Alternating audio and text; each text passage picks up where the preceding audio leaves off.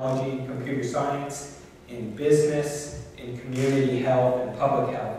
These are some of the areas um, they have a real interest in. Also basic science and mathematics education all need strengthening. The university really suffered not only from the war, but also just poverty and um, needs to be reinvigorated. So at a personal level, what are some of the issues of responding collaborating together? I'm contending that issues around justice, power, standing, reconciliation are central to working together to create social change. That this asset-based approach is really important, that we recognize that everybody um, has something to contribute, how to mobilize it, how to engage it.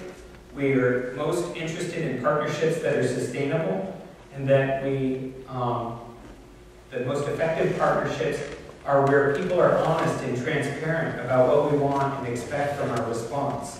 And we need to be upfront about that. Issues about compassion, um, being together are important parts of collaboration. What makes collaboration interesting and useful to people? Why do they seek it out? Also, another issue in these kind of partnerships is that there's some sacrifice and risk involved for both sides that um, it's costly, that, that there's some demands put on you. Um, by going to Sierra Leone and interacting with these people, you would not, well, you might imagine how many emails I get from people that I don't know. All this is just part of what's involved. If you're going to get involved in this kind of relationship, you open yourself up to some things. But I would contend those are the real interesting things in life, what people seek, and uh, where we do find some some meaning. Um, there's a challenge of taking some of your creative and intellectual energy and dedicating it to social change through collaboration or partnership. And another issue is by being engaged in these kind of settings, I think it raises other questions for us to think about about our own lifestyles here. Um, if you're working and seriously working with an organization dedicated to reaching the poorest of the poor in India, questions that you hadn't thought of previously. But that's where the joy is.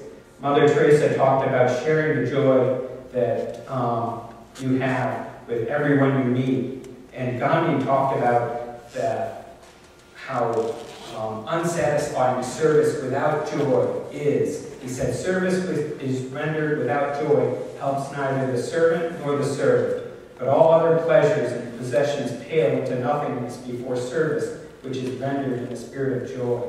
And that is so true. If you're in a difficult situation, working in an AIDS clinic, the last thing you need is some sour social scientist to show up with his lengthy survey and burden your staff. You need to serve these people with some joy and be a part of something positive there. Same way if you're going to go interact with a university that has taken it on the chin during a war and is struggling to meet their payroll, you don't want to burden them with a whole bunch of problems. You need to come in and share something positive with them. That can be a huge contribution to them and is deeply meaningful. You also, if you're going to get involved in difficult situations like injustice or real malnourished um, children and, and issues like post-conflict situations like in Sierra Leone, you need to have some resources to lean on. These are demanding situations, uh, emotionally, psychologically. Even for some of our students who were just there for two weeks, to see certain things was difficult for them. And um, if you're going to be involved in a long-term relationship and partnership or collaboration, you need to have some resources. Thomas Merton talks about how you need to go deeper. So I would contend you need to think about that if you get involved in these kind of things with serious organizations that are committed to social change. It's going to raise questions. And it also raises the issue of um, your stance. You can't be a part of an effective partnership as an expert nearly as much as you can be if you're also open to learning. You have assets to contribute, but you're also a learner, and you have things you can learn from them. That's a very positive way to be involved and also leaves open avenues for some personal growth. Um, academics and students have a lot to contribute here. And there are some incredible examples on this campus. Dr. Vernon Burton, who is, uh, was in history, he's retired now and lives in South Carolina. He did a lot of work with um, civil rights organizations in desegregation and different cases as uh, assistant on these, using his research skills, contributing that way. My friend Chris Barrett at Cornell, who's a economist, um, does the same kind of thing and his work with CARE and other groups. But you have a lot to contribute. You can volunteer and get involved. It's deeply meaningful. For organizations, whether they're community groups or churches or NGOs, we need to think about this asset-based approach and make sure our approaches really uh, recognize the local assets, the local abilities, and that power is given in the way we structure our relationships to local people. I think this has a lot of implications, not just for our study abroad work in these kind of settings, but for church groups, for short-term programs, volunteer programs, um, this balance of how much money should go into travel and how much should be spent on a local program. I think that comes up um, pretty quickly in these kind of things for our organizations. Lastly, I'd like to leave you with the idea that when we collaborate, when we partner and work together with some of these kind of ideas, where there's real authentic sharing, we can do a lot together. More than move a house, probably. We can do a lot together. Thank you.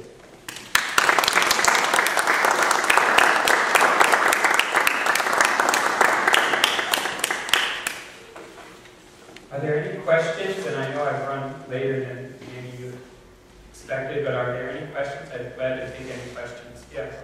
Uh, Paul, thank you for sharing. Uh, Thank you very much for sharing your rich experience and motivating us. Thank you. In the olden days, so to speak, when you- Illinois in uh, Leone, we were getting a lot of support from uh, the uh, AID. Is that still an avenue that is open for people like you and others to get support? Um, I think yes and no. I think there's funding streams like that, they're not what they were at that time. And I think the models that we used in the 60s and 70s and through sometime in the 80s, those models of universities related to USAID, I think, are gone. Um, that we need to relate to USAID in a different way than we did at that time. We have to be more nimble. We have to be ready to partner significantly with local in-country organizations and also probably with um, either leading NGOs or consultancies in ways that we haven't. Least recently, University of Minnesota received a massive Gates Foundation um, grant, but they're in part of a consortium with DAI, a consulting firm, some NGOs. You know, we have to, um, the times have changed. And, and even for like Michigan State, which in my opinion has one of the leading international agriculture programs, um, even they are realizing that they need to build institutional level partnerships in a way that they don't have. They've relied on individual professors to be the ones who create programs and that um, they need more institution to institutional commitments. And, and so it's a different environment, but there are funding streams. I think some strengths for Illinois would be biofuels and about how to frame biofuels not from the perspective of Illinois farmers, but from the perspective of countries and smallholder farmers in a place like West Africa. There's a lot of needed work, and we have some assets around campus in that area. Another